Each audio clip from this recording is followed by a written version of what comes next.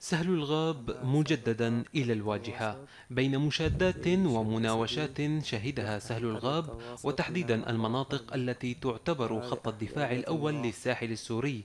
بذلت قوات النظام كل ما بوسعها لاستعادة السيطرة على تلك المناطق لأهميتها الاستراتيجية.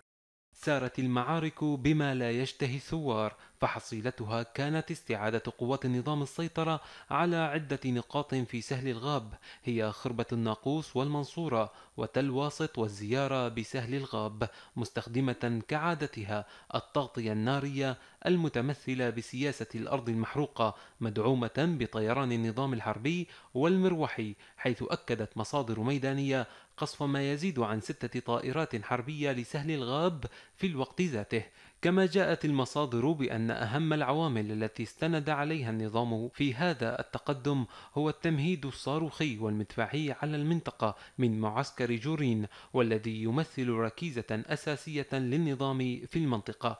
ولا يخفى أيضا أن وجود هذه المناطق جميعها على خط واحد وطبيعة سهل الغاب الجغرافية المكشوفة كلها أسباب لعبت دورا كبيرا في تراجع الثوار منها. هذه المناطق تحديدا كانت قد شهدت في وقت سابق معارك عنيفة أحرزت قوات النظام خلالها تقدما ولكن ما لبث الثوار حينها أن نفذوا هجوما عكسيا استعادوا فيه السيطرة على القرى المذكورة. والآن يشهد هذا الخط اشتباكات عنيفة بين الثوار وقوات النظام وسط تغطية من الطيران الحربي والمروحي.